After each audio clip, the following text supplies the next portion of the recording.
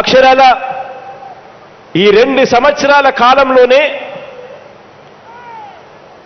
అక్క చెల్లెమ్మల దగ్గర నుంచి పాలు పోస్తా ఉన్న రైతన్నల దగ్గర నుంచి గత రెండు సంవత్సరాల కాలంలోనే అక్షరాల ఎనిమిది కోట్ల డెబ్బై ఎనిమిది లక్షల యాభై ఆరు వేల తొమ్మిది వందల పదిహేడు లీటర్లు పాలు సేకరించడం జరిగింది. అలా సేకరించిన పాలకు దేశంలో ఎక్కడా కూడా లేని విధంగా ప్రతి పది రోజులకు ఒకసారి నేరుగా నా అక్క చెల్లెమ్మల బ్యాంక్ ఖాతాల్లోకే నేరుగా డబ్బులు జమ అవుతా ఉన్న పరిస్థితి కూడా ఈ రోజు జరుగుతా ఉంది. కేవలం పది రోజుల్లోనే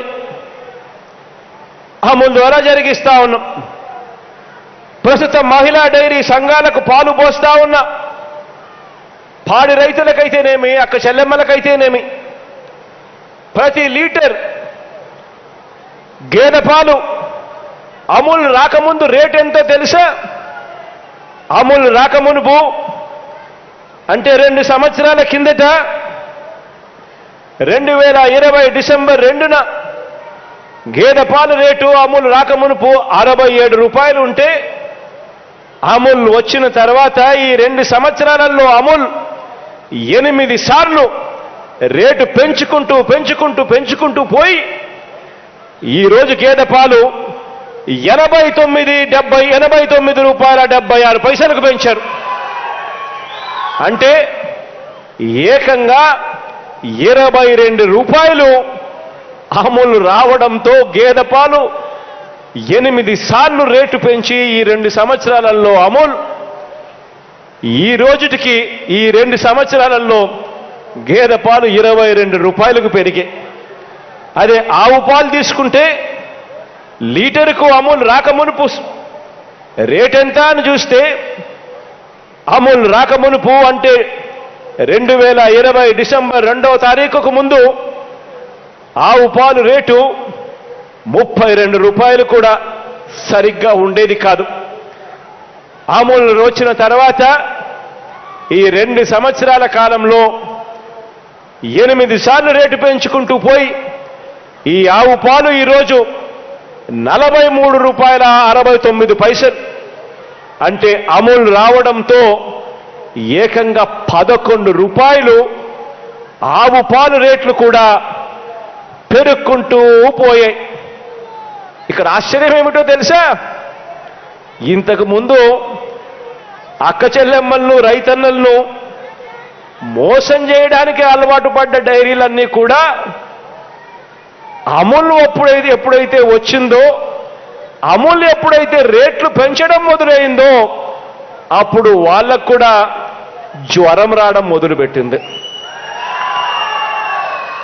అప్పుడు వాళ్ళు కూడా రేటు పెంచక తప్పని పరిస్థితిలో వాళ్ళు కూడా రేటు పెంచుకుంటూ పోవాల్సిన పరిస్థితి వచ్చింది అని అంటే దానికి కారణం? దానికి కారణం? మీ బిడ్డ ప్రభుత్వం అని చెప్పి ఈరోజు చెప్పడానికి గర్వపడతా ఉన్నాను నేను.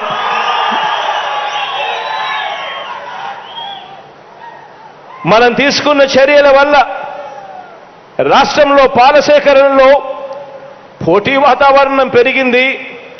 ఇతర డైరీలకు కూడా పోటీ పడాల్సిన పరిస్థితి వచ్చింది. దీనివల్ల అక్షరాల నా అక్క చెల్లెమ్మలకు పాలు పోస్తా ఉన్న నా అక్క చెల్లెమ్మలకు పాడి రైతన్నలకు అక్షరాల నాలుగు వేల రెండు వందల నలభై మూడు కోట్ల రూపాయలు అదనపు లబ్ధి చేకూరింది అని చెప్పడానికి సంతోషపడతా ఉన్నాను అని చెప్పి సందర్భంగా తెలియజేస్తా ఉన్నా. ఈరోజు రైతులతో పాటు అక్క చెల్లెమ్మలకు మంచి జరగాలి. వ్యవసాయానికి అదనపు ఆదాయం రైతన్నకు వస్తేనే రైతన్న ముఖంలో చిరునవ్వు కనిపిస్తుంది.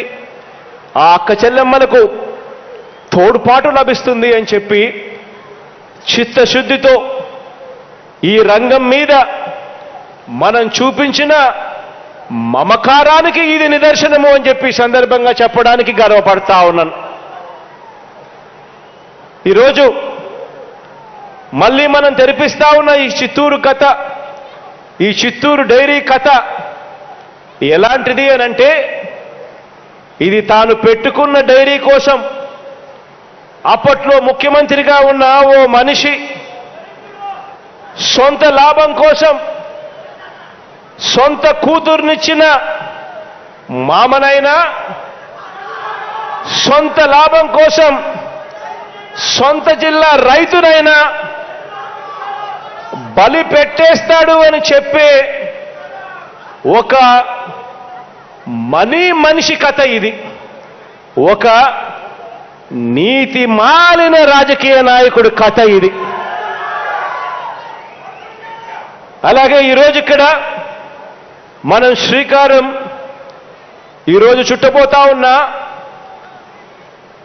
వెల్లూరు సిఎంసి గురించి వెల్లూరు మెడికల్ కాలేజ్ గురించి ఈ సిఎంసి మెడికల్ కాలేజ్ కథ కూడా ఇంచుమించు ఇలాంటిదే. పద్నాలుగు సంవత్సరాల తర్వాత ఈరోజు మళ్ళీ మనం నడుంబికిస్తా ఉన్నాం. ఈ ప్రాజెక్టు తీసుకొచ్చే దానికోసం. దేశంలోనే అగ్రగామి మెడికల్ కాలేజ్ దేశంలోనే టాప్ త్రీ కాలేజెస్లో ఒకటి. అటువంటి గొప్ప మెడికల్ కాలేజ్ మన చిత్తూరుకు వస్తా ఉందనంటే ఇక్కడ అడ్డుకున్నది ఎవరో తెలుసా? అడ్డుకున్నది సాక్షాత్తు ఈ చంద్రబాబు నాయుడు గారికి ఈ చంద్రబాబు నాయుడు గారి గజ దొంగల ముఠాలో సభ్యుడు ఈనాడు రామోజీరావు గారి వియంకులు. స్థలాలు ఇవ్వకుండా ఈ గడ్డ మీదికి ఒక మంచి మెడికల్ కాలేజ్ రాకుండా